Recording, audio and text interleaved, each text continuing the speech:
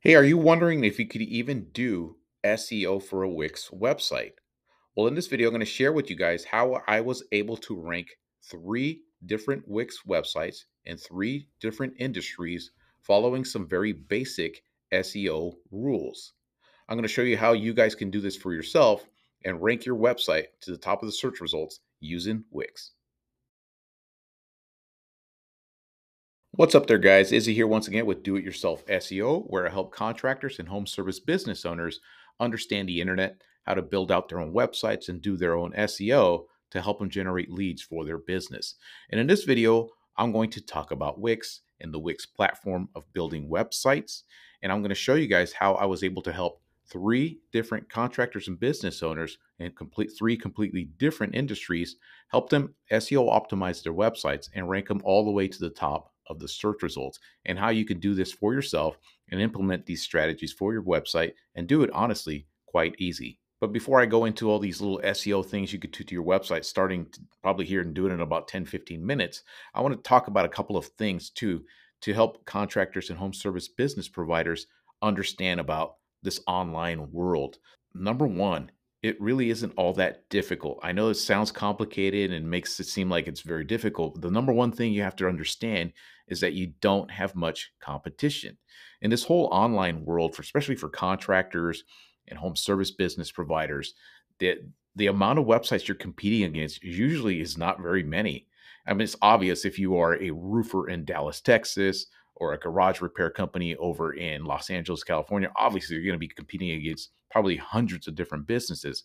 But if you are a like a fence company in a small town in Oregon, like one of these examples here, or an asphalt paving company in another small town out in Arizona, or if you build out decks in Santa Barbara, California, or any number of things like that, the amount of websites that you're competing against is so small it's it's ridiculous, and it's so easy for you if you just to do the basic stuff on SEO to uh, be able to outrank your competition is incredibly easy. And the second thing I want to talk about is some of the mistakes that I see so many contractors make when they're building out their own websites. And I could totally understand that's not their area of expertise and i'm going to explain to you what some of the things that i see that they make the mistakes that they make and so that way you don't so that way you could avoid doing the same thing for your websites. But before all that let me share with you guys exactly how i was able to rank these three different websites in three different industries following basic seo strategies and rules that you should apply. So let me let's get into it. Let me show you exactly what i did to these websites so, as I talk very often on my channel, there's some very basic rules of SEO that you should follow when building out your website, and it will help you rank tremendously on the search results just following those basic rules. And what are these rules? Your title tag, meta description, H1 title tags, H2 title tags, some H3 title tags, and of course the content on your website. And the cool thing about Wix is that Wix makes this incredibly easy to access every one of those areas and go in there and fix them like within a few minutes and get everything dialed in so it can start helping your website rank towards the top of the search results. So as you'll see, this website here, I'm mimicking my location for this area. So when I type in fence company, the first result I see here is Prodigy Fence, and the first one of the first websites I see is Prodigy Fence here. And if you click on the website, you're going to see that I followed all those rules. You see at the top, you can always check your title tag just by running your mouse at the, tab up here, and it'll tell you what your title tag is. Premier Fence Company, Hermiston, Oregon. So that's in there. The meta description says the same thing. And then here's the H1 title tag that says Experts Fence Company, Hermiston, Oregon. And then some H2s to sprinkle that in too. Company in Eastern Oregon. You'll see these are H2s, some more H2s, and you're going to see all of these are H3s, which basically supplement the website and tell the search engine that this is basically a fence company and provides all these fencing services in this particular area. And that's it. And I wrote some decent content on here talking about all the services it provides. And that's all it took to get this website towards the top. Here's the next example. Again, I mimicked my location for Prescott Valley, Arizona, and I typed in paving company. Obviously, anybody typing that in is looking for a paving company, correct? So when you go in here, you're going to see one of the first websites in here, Hard Drives LLC. There's their website, and there's their website right there. So it's got two spots here. Here is the title tag, Hard Drives LLC, Asphalt Paving, Prescott Valley. And here is the meta description. We're the leaders of asphalt paving, Prescott Valley, Arizona. And again, you can run your mouse towards the top and it'll tell you what the title tag of this website is. And what we did, here's the H1 title tag. Here's some H2s, more H2s, more H2s, and you're going to see some H3s right here. Recycled, hot mix, asphalt seal coating, chip sealing, asphalt, that kind of stuff to basically supplement what this website's all about. And then, of course, some decent content about asphalt paving in that area. This last example was an oddball one for me. Somebody reached out and needed some help with their website out here. So I'm like, obviously it's going to work. Let's go ahead and do it. See, it's a luxury transportation service, a black car service, they call it as well. So luxury transportation in El Salvador. Then you type that in, and the very first website you see there, and in the map listings here. And again, we did the exact same thing. There's the title tag, the meta description has all these words in it. Here's the H1 title tag.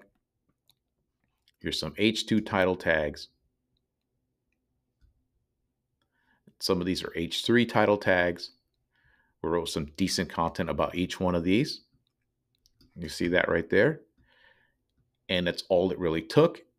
And it's ranking number one on the search results. No other SEOs was required other than the structure of the website. So let me show you how to fix all this stuff on a Wix website. So here we are on Wix. I've created my own template. So if anybody needs help with building out a contractor or home service business website on Wix, I created a template just for that. But let me show you exactly where to fix all these SEO settings, right? So here's the home page of my template. Just go into the page part here, pages and menus, and you click on that. Click on this little three tab dealie, and you see the SEO basics. And this is where you could change your description. See, I already have it set up perfectly. Your city, service provided, and then your business name. So, so Santa Barbara deck builder, Sam's Deck Building. Discover top notch deck builder services in Santa Barbara with efficient, affordable services, blah, blah, blah, blah. So that's where you fix the title tag and the meta description for this page. Next is the H1. So this is the H1. See how Wix allows you right here. So you edit text and it allows you to change it to this H1 title tag. Super simple. You know, you can change it to H1, H2, H3, whatever you want. You scroll down right here. I have structured these for H2s, edit text, H2 title tags. There you go. And you scroll down through. These are H2s as well. So you continue to scroll down and you'll see these. I've set them up for H3s. They're all set up. I got areas for pictures. I've got places where you can create the content that'll basically talk about the services you provide. And that is it. Then you hit publish, view the site, and there you go. This website is 100% SEO optimized with within about five minutes. That's all you have to do to get this thing structured correctly. And of course, you have to put in, you know, some content about what you do, the service you provide in that particular area. And of course, there's other things you need to do, like setting up service pages, the contact home, and all that stuff. But in this video, I just wanted to share with you guys the absolute basics that you need. If you do that, you're just going to you know knock your competitors out because they're not even doing any of the basic stuff it also helps that i've structured a design that seems to rank very well seems people the customers seem to scroll through it and really understand what they're getting here when they go on here and take action which also helps rank these websites. Now this leads me to the mistakes i so often see online when home service businesses and contractors try to build out their own websites. Again it's not no fault of their own their area of expertise is in their service they provide, not building up websites. But one of the mistakes that I see so often is I think I believe a lot of contractors see their website as a brochure for their business instead of a way to generate leads for their business. They already have a website up, might as well take full advantage of it and take advantage that a lot of people just aren't even following the basic rules of SEO. Take this one here. It's a dumpster rental company because uh, I, I generate my own leads. So I take a look at some of these websites people have set up. And I see this one here, which is a nice website. I can obviously tell it's a dumpster rental, but I have no idea where it is, where the area they provide or anything like that. And it's not so if I, the human being, don't understand, obviously Google's not going to understand. So this is never going to show up on the search results to help this guy generate leads. Now, if this guy just hands the website to somebody so they can see, they'll know, you know, on a one-on-one basis. But online randomly, he's never going to get found. I ran into this one too is HVAC repair. Number one, I have no idea what he actually does. Number two, where he provides the service. And this website is completely confusing. So if I ran into this website, I'd immediately hit the back button and and just leave because I'm looking for HVAC repair or whatever it is in my town. This doesn't tell me anything. Here's another one. Here in my town, Skyline Construction. Welcome to our website. You see what I'm saying? How they you see how they structure a website and kind of make it look like a brochure for their business. You know, they showcase some of the work, but again, this website's never going to get found in the search results. It's never going to generate any leads. And so you have a website up, might as well take advantage of it. Here's one last one I saw JDR Framing. I'm, I have absolutely no idea what this website is. It's a GoDaddy website set up. Um, you're already paying whatever it might be, two, three hundred bucks a, a year for this thing. Might as well make it work for you, right? Structure a website that's going to rank well on Google. So that's all I wanted to share with you guys on this video. I wanted to share with you guys how you can rank websites using Wix. It's not my preferred choice of building websites. I much prefer WordPress because it's just it gives you so much more options, more things to do. It's easier to build and it's easier to automate when you do more advanced SEO stuff for your website. So if you guys are looking for a template, whether it be that Wix one or WordPress, want to learn how to build your own website, do your own SEO, or if you don't want to do any of this crap, you just want somebody like myself to do it for you, feel free to reach out to me. I'll be able to help you out.